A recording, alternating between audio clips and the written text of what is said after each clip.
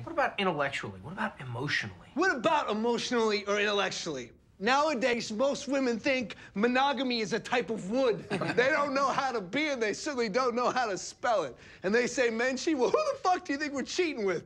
Certainly not you, Wayne. You think I'm gonna get emotionally connected to a woman like that? I don't think so. And if I want intellectual stimulation, motherfucker, I'll read a book. So you're saying that you're gonna go the rest of your life just willing to settle for having to compartmentalize? I don't even fucking understand what you said, but yeah, sure, I'll do that.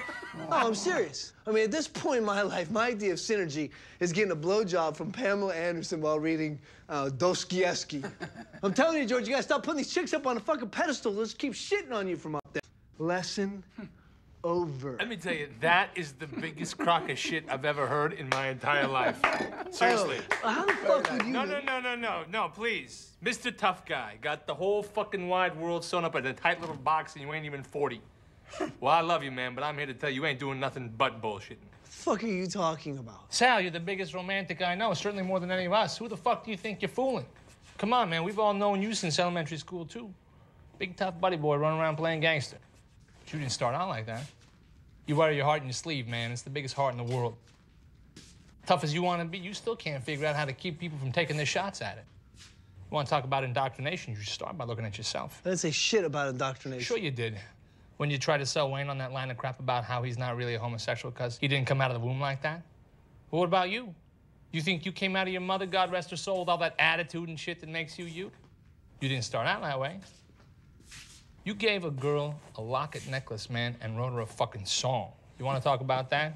You guys want to talk about the 11th man theory and all the game playing and the vicious circle and all that horseshit about how you're never going to get hurt like you did when you were 16. Well, I think you can't help it. I think you do have feelings, my boy, in spite of yourself sometimes. I think that is what you wrestle with. I mean, look at yourself, my man. You were affected tonight by a woman with a glass fucking eye who thought the word prima donna meant before Madonna. Come on, Sal, you're better than that. You could have been with any girl you want, but instead you thought you'd go safe and hook up with a girl who was so far beneath your standards that she'd never fucking have to hurt you. And you want to know what? She still fucking hurts you, so what's the point? Why not just hold out for the one that's been to your top and do whatever it takes to make it great with her? How? If they're all so fucked up, you tell me how. You gotta teach him.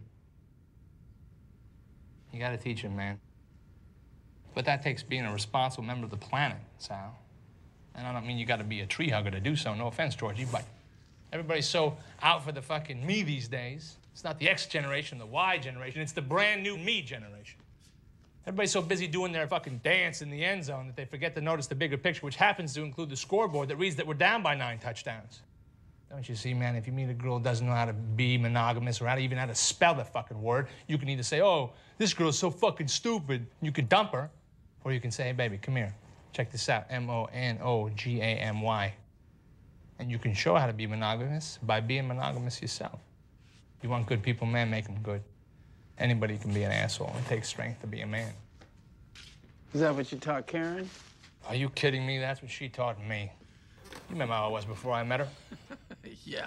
Why don't you tell that crock of shit to Tommy here? I'm sure he'll appreciate it. For three years, he's cashing his chips in early, going home to a girl who up and clotheslines his ass and leaves him staggering around the middle of the street with his fucking guts hanging out, wondering what he did wrong. Ha! What he did wrong. How about that for a mind fuck? What? Tell me. Come on, fuckers, tell me. He didn't love her enough? He didn't treat her well enough? I don't think so. We all agree to a man that Tommy is the best person we know. And it seems to me, I recall somewhere back in the day him holding out for one that spun his top and doing whatever it could to make it work, but it didn't work, all All right? right, all right, Because she dumped him. She fucking dumped his ass.